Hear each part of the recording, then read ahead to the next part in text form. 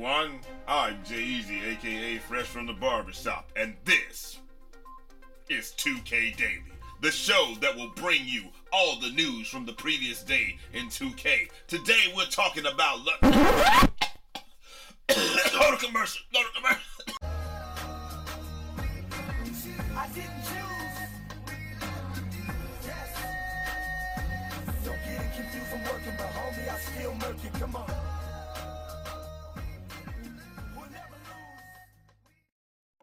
Ladies and gentlemen, y'all already know what time it is. Look, this is a show I'm gonna try to bring you guys every day, every other day, however often I can, just because, just however often time permits, how much you guys support it. It's just gonna be a, a daily recap of what happened the day before. We got we got L Watch, we got the buzz, the community buzz. We have things that are changing in the game. We got all this stuff, man. Just think of it as a um, as a uh, you know, like a sports center for for 2K and the day before or whatever. But like I said, I'm not gonna be able to really do it every every single day. So we might have to come up with a better name than 2K Daily. Maybe I can do it every day. If you guys support it, we're gonna do it every day. But if not, you know, uh, I, I just got to do it as often as I can. But hey, we're gonna do it for this first month. See how it goes. And if it rocks, it rocks. If it doesn't, then you know we're just gonna let it rock. But uh, hey, let's get right into what we got to get into. First off, the thing that everybody wants to know about. There was no day one patch. Now we know that Po Boy Sin was talking to Mike on Twitter, and Mike and Po Boy Sin was talking about the fact that he wanted to put the step back or the escape dribble back on the right stick. Right now, as it stands, it's on the left stick. You have to hold turbo and tap down on the left stick. It's really convoluted, really confusing. It doesn't feel natural, and I can definitely see why he wants to move this back to where it was. And Mike said there would be a day one patch that would move this, and that's how we would know that there was a day one patch. This has not been moved. This functionality is still on the left stick, so we know that there's been no day one patch. Everything is the same. A lot of people are saying that the gameplay is really slow, and that's what I'm seeing.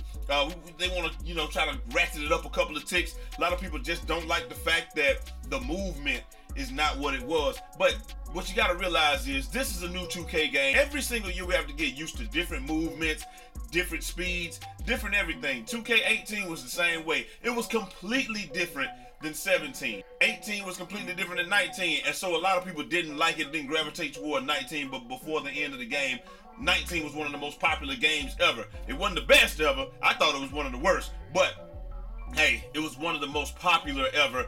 Uh, to the fact that people were still watching the game all the way up to last week, and uh, we, we, with anticipation for 2K20. So we gotta just give it time, see what happens. Maybe there'll be a day two patch, maybe there'll be a week one patch or something like that. But once that functionality is moved, we will know that we've got the patch. Also, there was no buff to small forwards uh, as of yet everything seems to be the same. It seems like they want you to play with shorter players this year. We got no new pie charts. Uh, that's all the same. So a lot of the things that they were saying, hey, this might be in the game, that may be in the game, this, that, the other, it, it's just not come to fruition. And I couldn't imagine that after people have made their players and played some of the game, that they would come back with new pie charts or new anything, or even buff uh, buff small force or anything like that. I couldn't imagine that they would do that. I feel like what they're going to do is just leave it like it is, and uh, and and that's gonna be that's gonna be it. The things that we do know are in the game right now.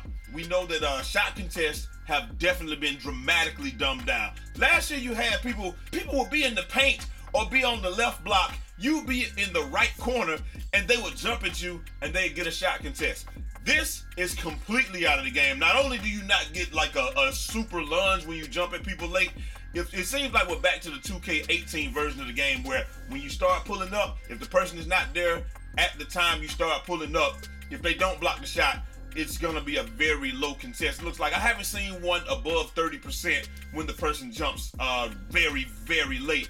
I like that. I think that creates a good skill gap because you shouldn't be able to just rely on sprinting around the court and pressing triangle in order to in order to, to play defense. You should have to stay in front of your man and play real defense. Play very good, concise defense. Now we don't know what this what the outcome is going to be on this. We don't know when everybody gets intimidated and stuff like that how that's going to go. But we just know for right now the super long arm contests are completely gone. So the guys that used to do that to me last year, I'd be wide open, get open, run off, run around, get off ball, get wide open, and all that. And all you did was just jump at me two or three people. That's over with. You're gonna have to find. You're gonna have to try to find another way to beat me. And besides, if, if 2K19 was the first 2K you were good at or decent in because you played lockdown or you played a stretch or something like that, whoo boy, you're gonna have a hard time. I mean, anyway, let's just get back.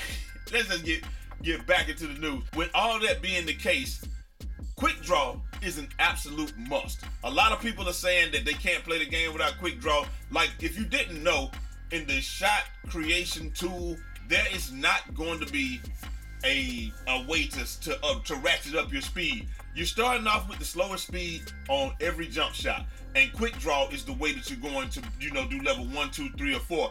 I got a secret shot for you. If you put quick draw number one on Paul George, that's gonna help you out a very uh, you know on a Paul George based on Paul George shot. That's gonna help you out a lot because I had Paul George and I put quick draw uh, on bronze on it and it was fine for me. I'm not saying it's gonna be fine for you. Lamarcus Aldridge, like they said, 2K Lab did a very good video on it, so you, you might want to go check that out. They said that you can put Lamarcus Aldridge on the fastest quick draw and it's still comparable. Like Carmelo Anthony is still faster than that jump shot with like quick draw on silver or something like that. So just keep that in mind. A lot of people are saying that they that you must have quick draw in order to play the game. I've just put quick draw on bronze and I've been fine with mine. Speaking of which, I will be streaming later today, but I'm just probably gonna be doing my career and just going through the game like that because you have to get all your badges, and the fastest way to get the badges is gonna be in my career. I'm going to find the fastest way to get the badges. You can look back all the way to 2K 17. I've always found the fastest way and the most efficient way to get the badges. So make sure you sub to the channel and uh, like the videos and all that, and just keep me motivated this year to do that. We got to get to 100 grand this year, man. If we don't, hey, I don't know what I'm gonna have to do. I'm just to start doing uh, other types of videos. But anyway, the rec floor has changed. There's no longer the Jordan Rec Center. A lot of the branding has has seemed to be gone also throughout the entire game. So you know we don't have Foot Lock anymore. It's just 2K shoes, and uh, the rec floor has changed. It's, it's just the rec now. Now you do have more lag. I mean, we do have more people on the sidelines and stuff like that. So it's like people are actually watching the game. You got a little crowd there. They got the bleachers on the left side, the right side, and stuff like that. That seems to be pretty cool. But uh, you know, other than that, it's just still the rec, and that's where you're probably gonna find me most of the time anyway. Uh, also, it looks like we're back to the 2K17 version of shooting. And when I'm saying that, like I already touched on it before, where you can't just jump at somebody all late and get a contest. That's gone out of the game. You know, in 2K17, once you got your dead eyes, maybe you got Hall of Fame dead eyes, something like that. If a person wasn't standing on top of your feet when you took the shot, you had a very good chance to hit it.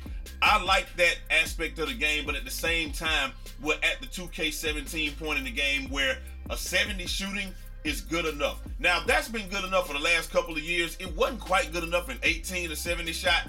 We made it work, but in 1970 was good enough. And if you got a 70 overall three or something like that, or if you got a 67 and you have somebody on your team that has floor general on goal, and they'll bring it up to a 70, you should be able to hit shots. We've seen Worthing Coat hit shots with his with his guy. I've seen Po Boy Sin hit shots consistently, and he only has a 74 three-pointer, and he only has a like a 75, 74 uh, mid-range. So I'm a 79 mid-range. So that's been good for him.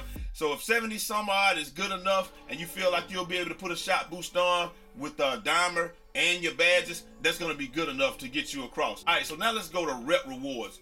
We're just gonna touch on this real quick. We found out that rep rewards and max rep, you get extra badges. It's just like it was last year. You probably just get to turn. You probably get one extra badge point, you know, for everything, and then you get to turn everything to Hall of Fame, or you just get to, you know, rearrange things and put them back. We know you can rearrange the badges any way that you can, so they're probably just gonna give you like 60 extra badge points, 30 extra badge points, and you can just up each badge once. So, so that's gonna be cool. There was talk about rep being reset. You haven't seen anybody's rep get reset. They may reset the my team though, because a lot of people were pulling Galaxy Opals, and uh, like like my boy Ramp said, that's just not supposed to be the case. You can't pull Galaxy Opals like everybody was glitched, and they were just pulling mad Galaxy Opals the first day. So if you didn't take advantage of that glitch, I don't know what to tell you, but I can tell you this: they're probably going to reset my team progress. We have no idea, but you know it is what it is. Brotha Jones did talk to us about one thing yesterday.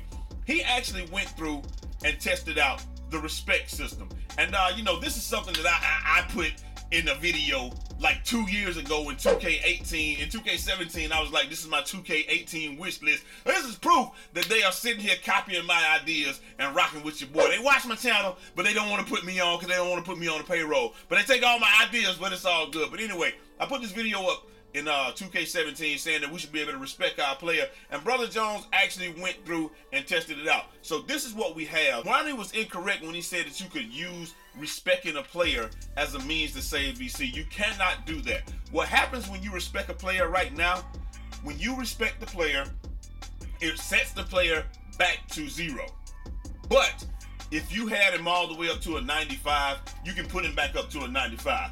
The caveat is you must have the VC. My idea was let us pay a hundred grand, and then we could respect the player. Like you, you pay to respect the player, and then all the attribution stuff will be free. The way that it stands now is not like that. You will have all your badge points. You will have all the attribute caps to, to, to add to the player, but you have to have the VC to put into the player in order to get him back to that. So let's say, like I said, if I get a, if I get a guy to 95 and say he would have been better served, um, he would have been better served, you know, putting something like like like like a, a different pie chart, a different speed, or if I should have just put put his attribute potential a little bit differently, I can do that. And I can set him all the way back to whatever. I can even make him a center. I can make him a guard. I can make him whatever he wants to be. And then I can actually fill everything out but I have to have the VC in order to do it. So those attribute caps won't be free. And so it's not a means to save VC. Ronnie, you fleeced us again, brother. What's going on, man? And last but not least, L Watch, ladies and gentlemen. Now, it's not really L Watch. But we did have the game of the year yesterday, uh, uh, you know, so far, and it was Magurk versus Geesice. It was actually a pretty good game. Geesice came out there. I think he had a big, a big man though. Now he did defeat Magurk, and uh, Magurk was not happy about it. But it was all good though. It was all in good fun and all that good stuff. And actually, Magurk did get a lot of redemption.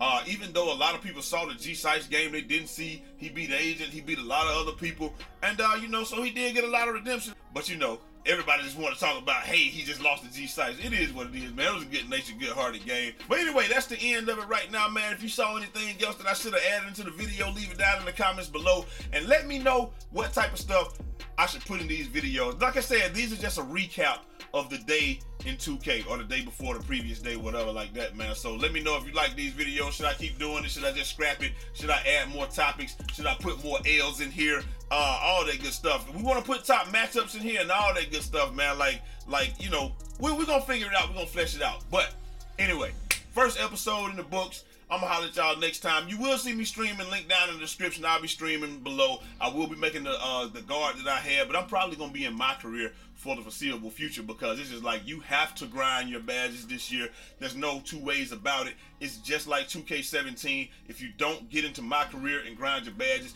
it's gonna be a long and arduous trek in order to get yourself up in this game and, and be relevant. And it's like badges are really what make the player this year. So they let you play the way that you want to play. Anyway, I got to get up out of here, man. Hope you guys enjoyed the video. Leave a like if you leave a like and subscribe if you're new. And, uh, you know, watch watch out for my video this evening because I will have a couple of videos this evening on how to how to get the badges quickly, the best methods to go about it. And then, you know, I'm, I'm going to have the best bills, man. Check out the best bill video that I had yesterday. And I'm to holler at y'all next time. Till next time. It's your boy Jai Eazy, aka Fresh from the Barbershop, BK the People's Champ. Holla!